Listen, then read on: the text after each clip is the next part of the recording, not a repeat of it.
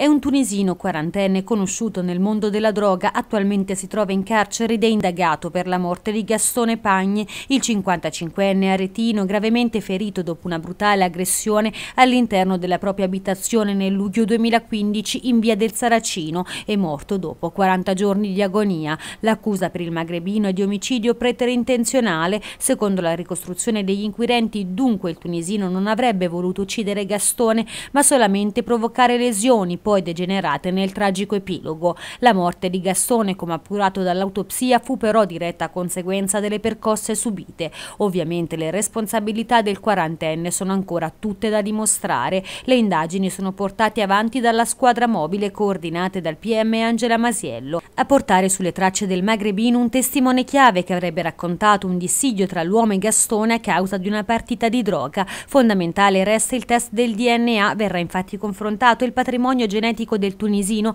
con le tracce trovate all'interno della casa della vittima, nello specifico in un bicchiere e in alcuni mozziconi di sigaretta. Lo scorso 13 febbraio inoltre il PM avrebbe dato l'incarico per la comparazione del DNA di una macchia di sangue rinvenuta nell'appartamento di via del Saracino con il materiale biologico prelevato dalla squadra mobile. Gastone venne ritrovato all'interno della propria abitazione nel cuore del centro storico di Arezzo il 9 luglio 2015. Fu portato d'urgenza al San Donato, morì 40 giorni dopo il pestaggio nella notte tra il 18 e il 19 agosto a seguito di una crisi respiratoria.